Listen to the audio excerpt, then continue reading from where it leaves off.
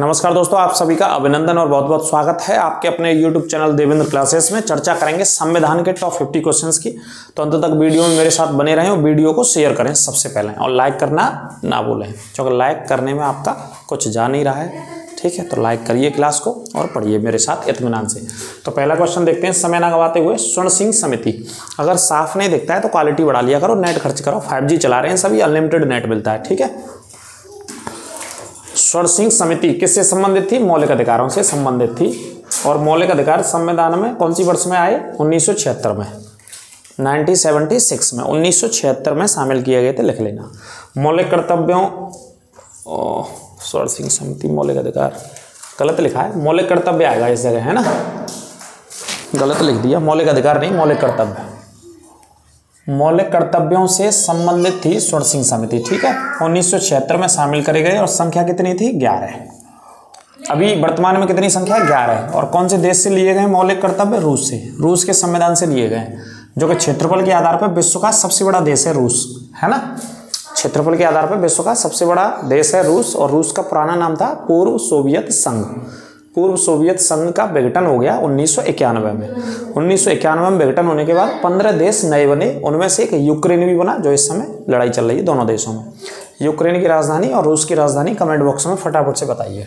ठीक है, ये पॉइंट नोट कर लेना। राष्ट्रीय विकास परिषद की स्थापना 6 अगस्त उन्नीस सौ बावन को हुई।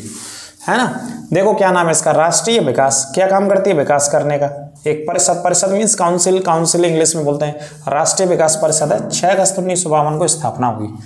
ठीक है? अगला पॉइंट है, केंद्र एवं राज्यों के मध्य वित्त का बंटवारा। काय का? वित्त मतलब यानी कि पैसे का बंटवारा।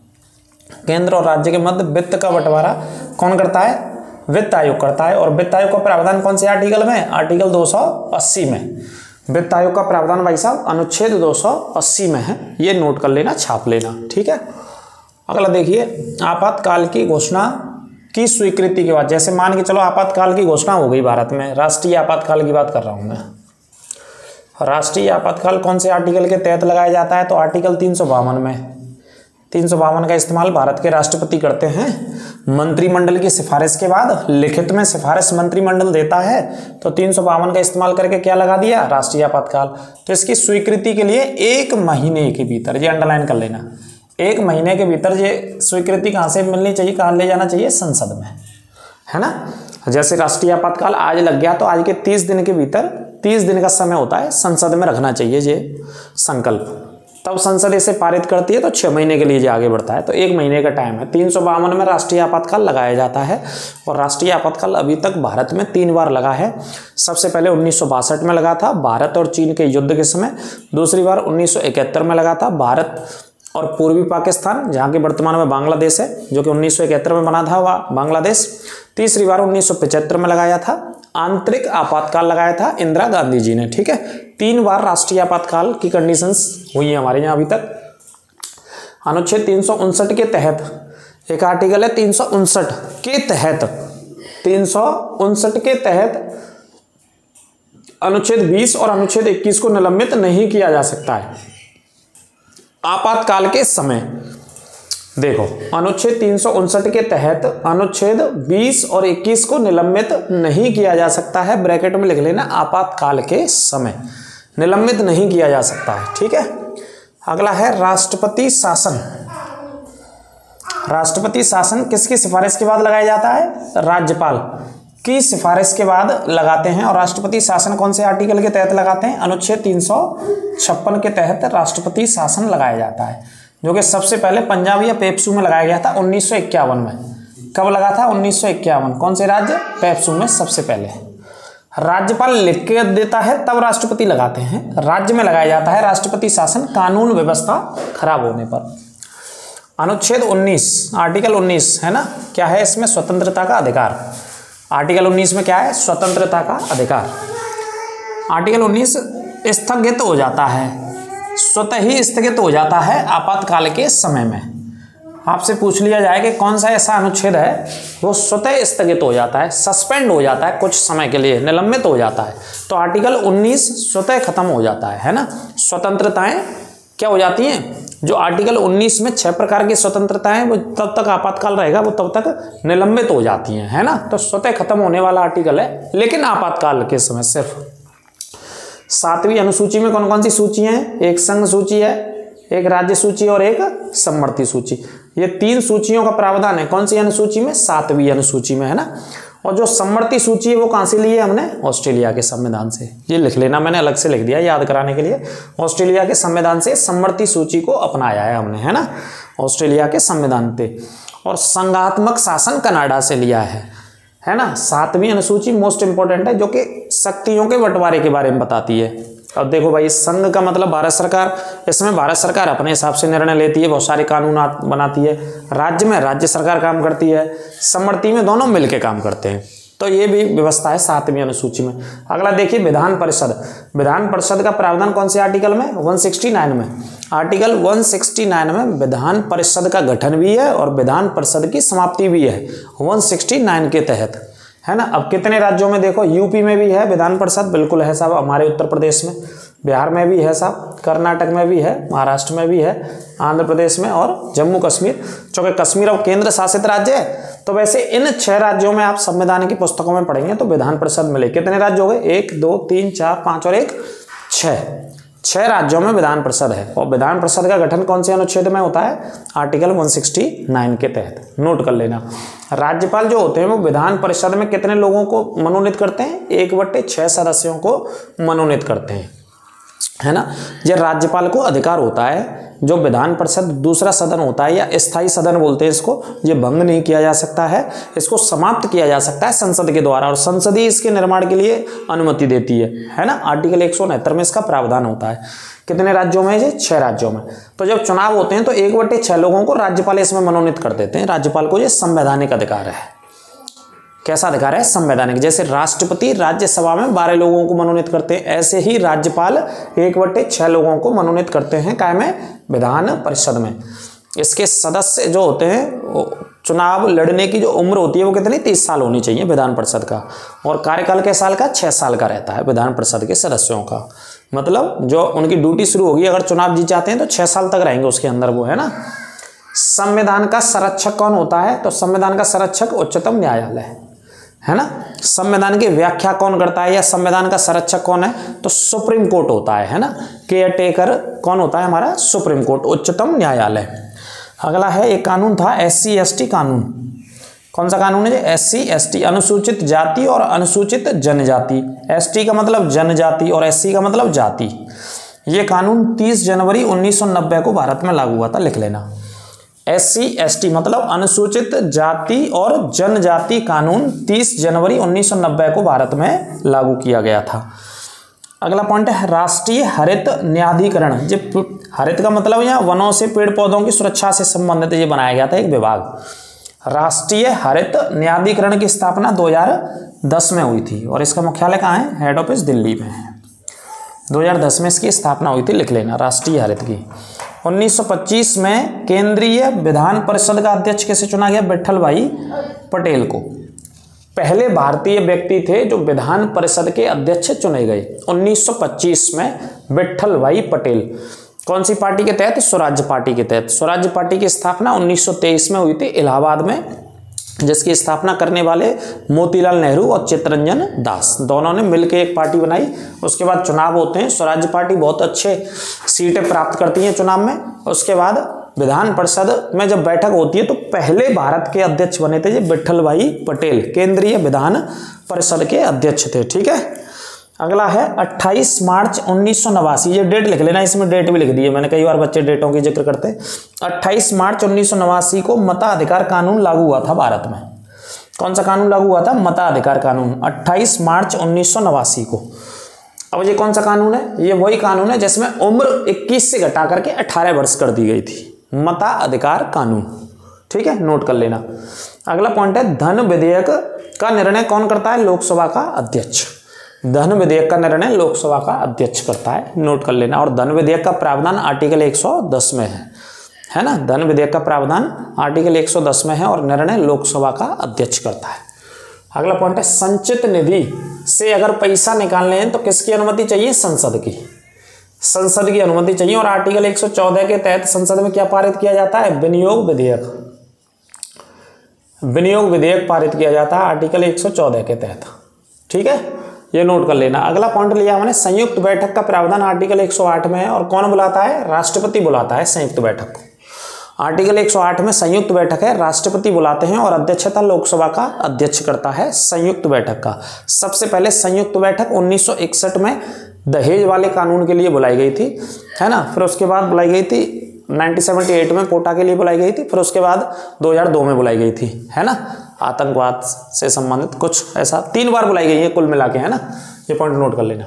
अगला है, लोक लेखा समिति की अध्यक्षता विपक्ष का नेता करता है। और इस समिति में कितने लोग होते हैं? बाईस लोग होते हैं। है ना? पंद्रह होते हैं और सात होते हैं। पंद्रह इसमें लोकसभा के और सात राज्यसभा के होते हैं। टोटल बाईस बाईस लोग होते हैं। लोक लेखा समिति। लेखा मतलब ये जांचती है हिसाब किताब भारत सरकार का। संसद के सदस्यों के विशेषाधिकार कौन से आर्टिकल में? 105 में। अनुच्छेद 105 में। जो सांसद होते हैं ना सांसद जो सांसद चुनाव जीत के जाते हैं उनके क्या क्या अधिकार हैं? ये सब आर्टिकल 105 में है। संसद के दो सत्रों के मध्य कितने महीने का अंतर होना चाहिए? छह महीने का। जैसे एक, एक बैठक से दूसरी बैठक के बीच का जो समय होना चाहिए वो छह महीने कम से कम बीच में समय होना चाहिए। गैप होना चाहिए कितने का? छह महीने का गैप होना चाहिए बीच में है ना? अगला है, राज्यसभा को भंग नहीं किया जा सकता है। ये पॉइंट याद रखना, कई बार पूछा जा सकता है। कई बार पूछा जा चुका है। प्रश्न आता है कि राज्यसभा को इनमें से कौन से सदन को भंग नहीं किया जा सकता? यह भंग किया जा सकता है तो ऑप्शंस के अकॉर्डिंग देख लेना। राज्यसभा एक स्थायी सदन है परमानेंट सदन है। इसको समाप्त नहीं किया जा सकता है। इसके पाँच साल बाद कोई चुनाव नहीं होते। इसमें से हर दो साल बाद एक तिहाई सदस्य रिटायर होते हैं, हर दूसरे साल में। एक तिहाई, एक बटे तीन सदस्य रिटायर होते हैं और इतने नए सदस्य आ जाते हैं। तो एक साइकिलिंग एक चक्र चलता है राज्यसभा में अपॉइंटमेंट्स का और रिटायरमेंट का। ठीक है? राज्यसभा के सदस्यों का छह साल का कार्यकाल होता है। कितने साल का? छह साल का। और राज्यसभा का चुनाव लड़ने के लिए तीस साल उम्र होनी चाहिए। स्थायी सदन ऐसे कभी भंग नहीं किया जा सकता है। यह नोट कर लेना। राज्यसभा में अधिकतम सदस्य संख्या दो सौ बावन होती है। राज्यसभा के सांसदों की और वर्तमान में दो सौ है। नाम क्या है इसका? राज्यसभा यानी कि राज्यों की सभा। जो लोग आते हैं वो राज्यों से चुन करके आते हैं अप्रत्यक्ष रूप से राज्यसभा के सांसद। और बारह सदस्यों को राष्ट्रपति इसमें मनोनीत करते हैं। कला, समाज, साहित्य, खेल अलग अलग क्षेत्रों से बारह लोगों को राष्ट्रपति मनोनीत करते हैं। राज्यसभा का प्रावधान आर्टिकल 80 में है। राज्यसभा की स्थापना उन्नीस सौ बावन में हुई थी। ये भी नोट कर लेना है ना? कब हुई थी? उन्नीस में। इस समय राज्यसभा के जो सभापति हैं, वो जगदीप धनखड़ जी हैं, जो भारत का उपराष्ट्रपति होता है, वही राज्यसभा का सभापति होता है, या चेयरमैन बोल सकते हैं। आर्टिकल 64 में अनुच्छेद चौसठ में यह व्यवस्था है, और आर्टिकल तिरसठ में भारत के उपराष्ट्रपति का पद होता है। ठीक है? ये नोट कर लेना पॉइंट सभी जो मैंने बोले हैं कॉमेंटेटरी करिए आपके लिए। लोकसभा अध्यक्ष अपने वोट का प्रयोग, जैसे जैसे वोटिंग हो रही है किसी कानून पर लोकसभा में, किसी विधेयक पर। जैसे वोटिंग होती है तो मान के चलो दोनों तरफ़ से वोटिंग हुई तो पचास पचास वोट डले गए तो बराबर हो गए। अब ऐसी स्थिति में जैसे पक्ष की तरफ़ से भी पचास आए और विपक्ष की तरफ़ से पचास आए, किसी विधेयक पर वोटिंग होती है, आमतौर पर होती है लोकसभा के अंदर वोटिंग। ऐसी स्थिति में फिर लोकसभा का अध्यक्ष अपना मत देता है, फाइनल वोट होता है लोकसभा का अध्यक्ष। अब वो किसी भी तरफ़ दे सकता है, स्वतंत्र है वो, कोई दबाव नहीं है। लोकसभा का अध्यक्ष पक्ष यानी कि पार्टी की तरफ़ डाल सकता है, सरकार की तरफ़ विपक्ष में भी डाल सकता है। लेकिन ऐसा देखने को कम मिलता है कि विपक्ष में डाले वो, जिस सरकार ने लोकसभा का अध्यक्ष बनाया, वो वहीं देगा वोट। सिंपल सी बात है, इसमें सोचने, विचारने की बात नहीं। तो आर्टिकल सौ का इस्तेमाल करते हैं अपने मत के लिए, इसे कास्टिंग वोट बोलते हैं। संविधान में आप पढ़ोगे तो क्या नाम दे रखा है? कास्टिंग वोट, ठीक है? लोकसभा में आंध्र प्रदेश और पश्चिम बंगाल, इन दोनों राज्यों की बात करें तो दोनों राज्यों में जो सीट है ना, वो बयालीस बयालीस है लोकसभा की। सेम सीट है, इस वजह से ये मैंने पॉइंट ले लिया। लोकसभा की समान सीटें हैं बंगाल में और आंध्र प्रदेश में। कितनी? बयालीस ही आंध्र प्रदेश में है लोकसभा के सदस्य और बयालीस बंगाल से चुने जाते हैं लोकसभा की सीटें। अगला है आर्टिकल पिचासी के दो के तहत। ये अनुच्छेद लिखना, अनुच्छेद पिचासी के दो के तहत लोकसभा को भंग किया जा सकता है, बिल्कुल किया जा सकता है। लोकसभा को समय से पहले भंग किया जा सकता है। समय से पहले मतलब पाँच साल पूर्व होने से पहले। लोकसभा का कार्यकाल कैसे साल का होता है, पाँच साल का। तो पाँच साल पूरे होने से पहले लोकसभा को भंग किया जा सकता है केंद्रीय मंत्रिमंडल की सिफारिश के बाद। ठीक है जी? आर्टिकल पिचासी के तहत भंग किया जा सकता है। लोकसभा को किया जा सकता है, लेकिन राज्यसभा को भंग नहीं किया जा सकता। याद रखना, लोकसभा और राज्यसभा की गणिपूर्ति एक बट्टे दस उपस्थित सदस्यों का होना चाहिए। कितना होना चाहिए? एक बट्टे दस। उपस्थित सदस्यों का होना चाहिए लोकसभा और राज्यसभा में गणपूर्ति के लिए। यानी कि जो उपस्थित लोग हैं, उनका जितने, जैसे लोकसभा के कितने लोग होते हैं 545 राज्यसभा में 245 सही बोला है क्या सही बोला है? 545 और 245 इनका जो इस समय उपस्थित है, उनका एक बट्टे दस कम से कम बैठक में होना ही चाहिए। अगर एक बट्टे दस सदस्य नहीं उपलब्ध होंगे तो बैठकों का आयोजन नहीं किया जा सकता है। ये व्यवस्था है भाई साहब संविधान में। तो एक बट्टे दस गणपूर्ति का मतलब बैठक होने के लिए। गढ़पूर्ति पूर्ति होने के लिए, पूर्ति करने के लिए इतने सदस्य होने चाहिए। सीटों की संख्या उन्नीस सौ इकहत्तर की जनगणना के आधार पर चल रही है हमारे यहाँ लोकसभा में, जो कि कब तक रहेगी? 2026 तक रहेगी सेम आपसे पूछा जाए कि कौन सी जनगणना के आधार पर लोकसभा के सीटों को निर्धारित? तो 1971 की जनगणना के आधार पर लोकसभा में सीटों की व्यवस्था है, जो कि 2026 तक यही व्यवस्था रहेगी। ठीक है? महान्यायवादी आ जाए आर्टिकल छिहत्तर में। महान्यायवादी कौन से अनुच्छेद में नियुक्त होते हैं? 76 में। कैग की नियुक्ति कौन से आर्टिकल में होती है? आर्टिकल 148 में। नियंत्रक महालेखा परीक्षक, आर्टिकल 148 में, महान्यायवादी अनुच्छेद एक, छिहत्तर में और चुनाव आयुक्त तो आर्टिकल 324 में इन तीनों की नियुक्ति कौन करता है? भारत का राष्ट्रपति नियुक्त करता है। महान्यायवादी की नियुक्ति कौन करेगा? नियंत्रक महालेखा परीक्षक की नियुक्ति, चुनाव आयुक्त की नियुक्ति तो कौन करता है? भारत का राष्ट्रपति नियुक्ति करता है। नोट कर लेना। सामूहिक मंत्री परिषद, आर्टिकल पिचहत्तर के तहत। कौन से आर्टिकल? पिचहत्तर के तीन के तहत। यहाँ पे तीन और है। सामूहिक मंत्री परिषद पिचहत्तर के तीन के तहत लोकसभा लोकसभा के प्रति उत्तरदायी होती है। किसके प्रति? लोकसभा के प्रति उत्तरदायी होती है। नोट कर लेना। पूरी मंत्रिपरिषद कहाँ पे? लोकसभा में। उपराष्ट्रपति को पद से कौन हटा सकता है? राज्यसभा हटा सकती है। अगर प्रश्न आ जाए कि भाई उपराष्ट्रपति को कौन हटाएगा? कौन हटा सकता है उपराष्ट्रपति को? तो केवल राज्यसभा ही हटा सकती है उपराष्ट्रपति को। केवल केवल राज्यसभा। संकल्प पारित करेगी और दो तिहाई से पारित करके उसे जिस दिन से पारित हो जाएगा तो उपराष्ट्रपति को इस्तीफा देना पड़ेगा। क्योंकि उपराष्ट्रपति राज्यसभा की ही अध्यक्षता करता है। उसका लोकसभा से कोई लेना देना नहीं होता है भाई साहब। ठीक है भैया? भारत के चौथे नंबर के राष्ट्रपति ले लिए हैं हमने। आप सभी पढ़ लेना थोड़ा सा रिवीजन कर लेना राष्ट्रपति के विषय में, है ना? पहले, दूसरे, तीसरे, चौथे पांचे उनके बारे में अलग अलग चीज़ें। चौथे राष्ट्रपति बीवी गिरी थे, जो कि ट्रेड यूनियन आंदोलन से संबंधित रहे। कौन से आंदोलन से? ट्रेड मतलब व्यापार यूनियन आंदोलन से ये संबंधित रहे थे। चौथे राष्ट्रपति बीबी गिरी यदि राष्ट्रपति और उपराष्ट्रपति का पद खाली हो तो ऐसी स्थिति में राष्ट्रपति का काम कौन करेगा? यदि राष्ट्रपति भी पद पर ना हो, मान लीजिए इस्तीफा दे दिया हो, मृत्यु हो गई हो, और उपराष्ट्रपति का पद भी खाली हो, ऐसी स्थिति में राष्ट्रपति का काम कौन करेगा? तो ऐसी स्थिति में राष्ट्रपति का काम मुख्य न्यायाधीश करेगा, सुप्रीम कोर्ट के मुख्य न्यायाधीश, यानी कि उच्चतम न्यायालय के मुख्य न्यायाधीश उस पद पर आसीन होकर के कार्य करेंगे, कार्यवाहक के तौर पर, तब तक कि जब तक नए राष्ट्रपति का चुनाव नहीं हो जाता और नए राष्ट्रपति के चुनाव के लिए छह महीने का समय होता है हमारे संविधान में। अगर राष्ट्रपति इस्तीफा दे दे मृत्यु हो जाए तो नए राष्ट्रपति का चुनाव कितने दिनों के अंदर होना चाहिए? छह महीने के अंदर। उपराष्ट्रपति का चुनाव कितने दिनों के? छह महीने के अंदर। अगर कोई सांसद की सीट खाली हो जाता है, कितने महीने के अंदर? छह महीने। संविधान में छह महीने रट लेना। दोबारा जो दूसरा चुनाव होता है, एक बार अगर कोई पद छोड़ दे, मृत्यु हो जाए, इस्तीफा दे दे तो छह महीने के भीतर भीतर चुनाव होना ज़रूरी है। क्लास कैसी लगी अवश्य बताना और याद कर लेना और भी बहुत सारे पॉइंट पढ़ लेना। ये मैंने एक क्लास पढ़ाई है। पंद्रह सोलह दिनों में अगर पंद्रह भी क्लास पढ़ाएँगे तो बहुत क्वेश्चन आपको करा देंगे हम। लेकिन हमारी कोशिश रहेगी लिमिटेड सीमित संसाधनों में जितना हम पढ़ा पाएँगे, उतना पढ़ाएँगे। कोशिश करेंगे आपके साथ कि आपका जो परीक्षाएँ आने वाली, वो बेहतर से बेहतर हो और हम जितने भी क्वेश्चन पढ़ा रहे हैं, वो सभी क्वेश्चन आने चाहिए आपके पेपर में और आएँगे ही। आप चिंता ना करें रिविजन करते रहें रिपीट करते रहें बार बार। चीज़ों को पढ़ते रहिए। जीएस में जैसे करंट अफेयर्स पढ़िए लगातार, पिछले छः महीने, आठ महीने तक का पता होना चाहिए आपको।